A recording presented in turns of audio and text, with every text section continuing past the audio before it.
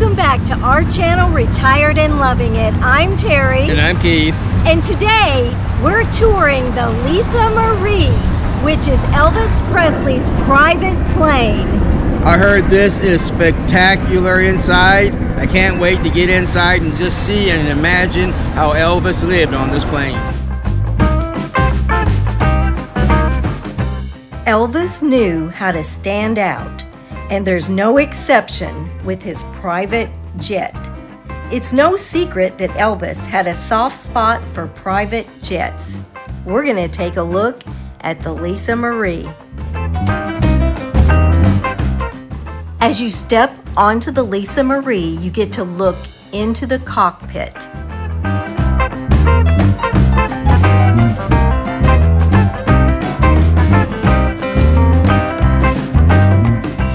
Got to look at the bathroom in the front of the plane through the plexiglass and see the 24 karat gold faucets and sinks.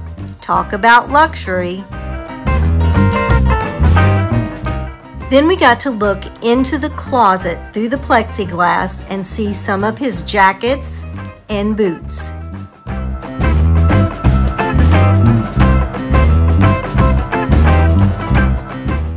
Elvis loved his TVs, and there was one in every section of this plane.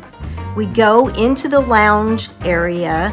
This plane had a capacity of 28 passengers.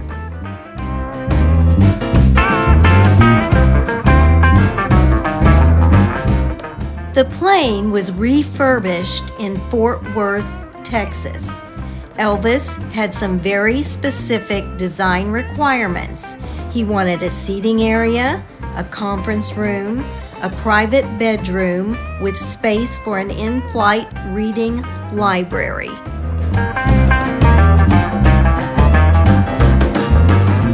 There was a bar, but we were told Elvis did not drink. He did not like the taste of alcohol. He preferred mountain spring water.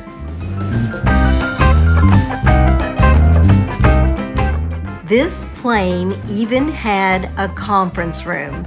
It was beautiful.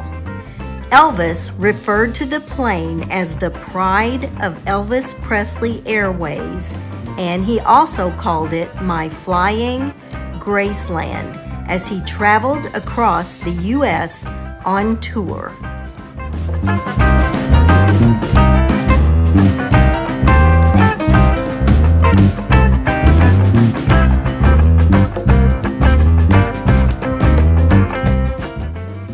Plane's name was Lisa Marie, but it was nicknamed the Hound Dog One.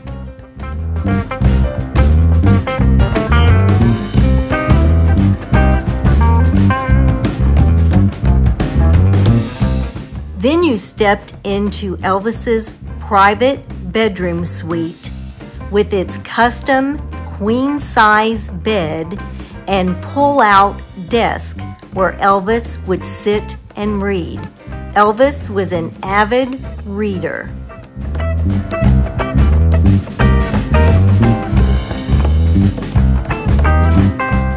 You'll notice the bed even had a seat belt, which was a requirement from the FAA.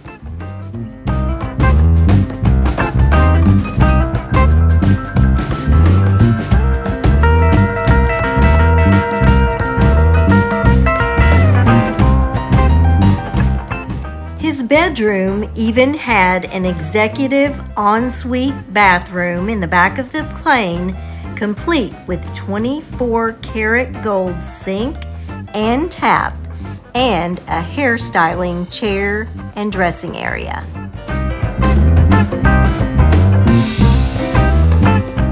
It was a bathroom fit for a king, the king of rock and roll.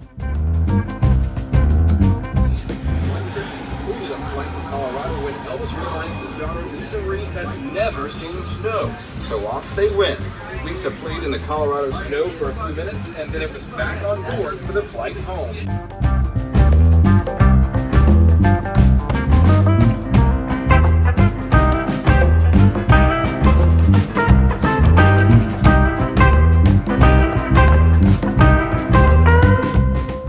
Then all they had to do was pull the curtain and snooze until it was time to land. Next stop, Queensway. The queen-size bed was designed specifically for this room on the Lisa Marie.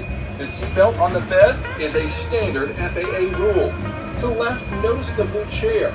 In the wall is a pull-out desk so Elvis could read in comfort. Elvis, you might not know, was an avid reader.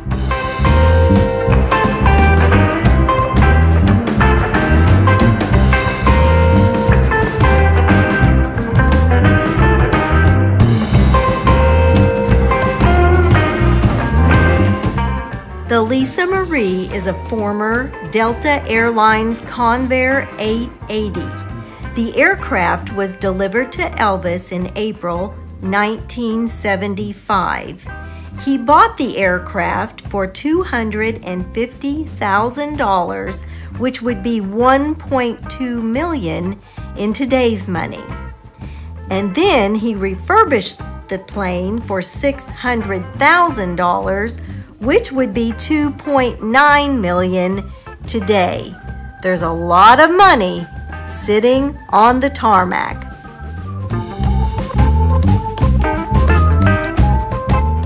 Notice the TCB and the lightning bolt on the tail of the plane, taking care of business in a flash.